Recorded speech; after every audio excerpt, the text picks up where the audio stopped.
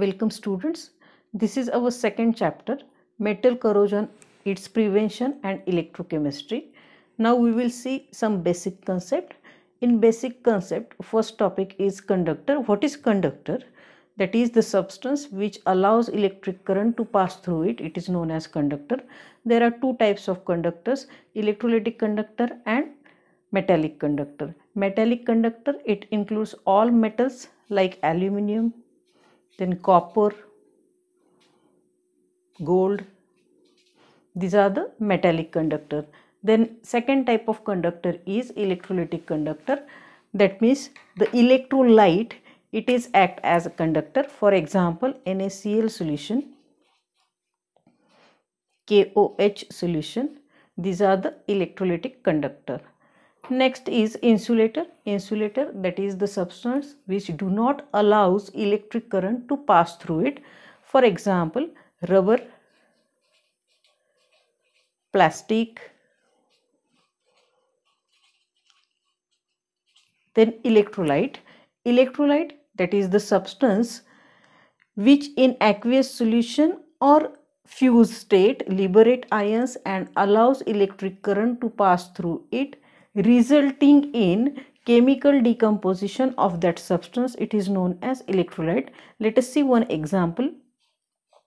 NaCl when dissolved in water this is the aqueous solution of NaCl then there is formation of Na plus and Cl minus ions H plus and OH minus ion. This is called as chemical decomposition of this electrolyte in its aqueous solution. It is known as electrolyte. Then types of electrolyte, there are two types of electrolyte, strong electrolyte and weak electrolyte. Strong electrolyte examples are strong acids like HCl, H2SO4, HNO3. These are the strong acids they are strong electrolyte because they liberate more ions in their solution than strong base like NaOH, KOH, then strong salt like NaCl, KCl. These are the example of strong electrolyte, strong acid, strong base and strong salt. They liberate more ions in solution. Therefore, they are known as strong electrolyte. Now, weak electrolyte examples are again weak acid like acetic acid, then weak base like NH4OH ammonium hydroxide, weak salt like BaSO4, then also aluminium hydroxide. These are some examples of electrolyte. Electrolyte, they are classified into two types, strong and weak electrolyte. Strong electrolyte examples are strong acids HCl, H2SO4, HNO3, strong base NaOH, KOH, then strong salt NaCl, KCl. Then weak electrolyte, for example, weak acid, acetic acid. Then oxalic acid, it is also example of weak acid. Then weak base and weak salt. These are some points related to electrochemistry. Now, next one is ionization. What is ionization? Now, let us see what is ionization. Ionization that means the process of breaking up of a substance into charged atoms or radicals it is known as ionization. For example, again we will see same example NaCl when in fused state or aqueous state form ion Na plus Cl minus this is known as ionization that means ion formation. Degree of ionization that means rate of ionization it depends upon three factors nature of solute, nature of solvent and temperature. Nature of solute that means whether the solute is strong electrolyte or weak electrolyte.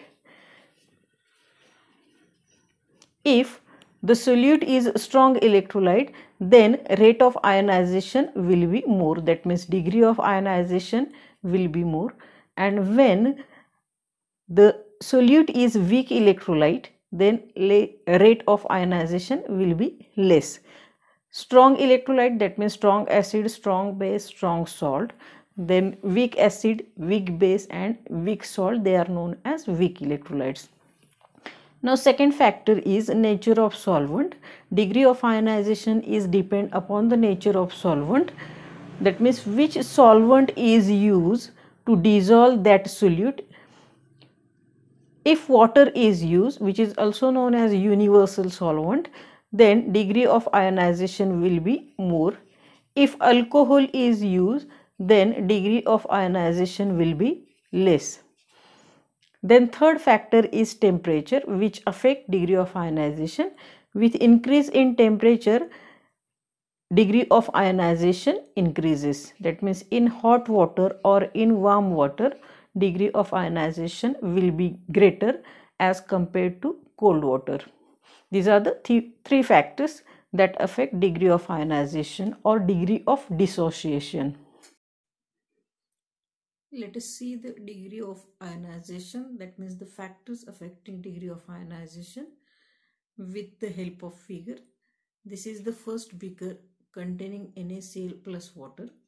This is cold water second beaker containing NaCl plus alcohol and third beaker containing NaCl plus hot water now degree of ionization will be medium in NaCl plus water. NaCl it is strong electrolyte and water is universal solvent. Degree of ionization will be less when alcohol is used as solvent. Whether it is strong electrolyte or weak electrolyte, the solvent also matters. And third is when NaCl is dissolved in hot water, degree of ionization increases that means rate of ionization will be greater in beaker C. These are the three factors. Nature of solute. In all cases, we use strong salt. That means strong electrolyte. But here, solvent is cold water, then alcohol and hot water. Therefore, degree of ionization will be greater in C beaker. That means with the help of hot water rate of ionization will be increases.